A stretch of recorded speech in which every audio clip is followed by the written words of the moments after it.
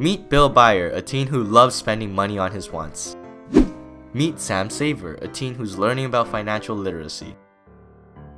Sam is taking an online course to learn more about budgeting and starting a savings account. Bill decides to spend his allowance on a brand new ukulele. Sam just called his financial advisor and began putting money into his bank account on a monthly basis. Bill steals his parents' credit card and orders a snowmobile online. Yeah. Sam starts looking into potential stocks that he would like to invest into. Meanwhile, Bill looks at cat memes on the internet.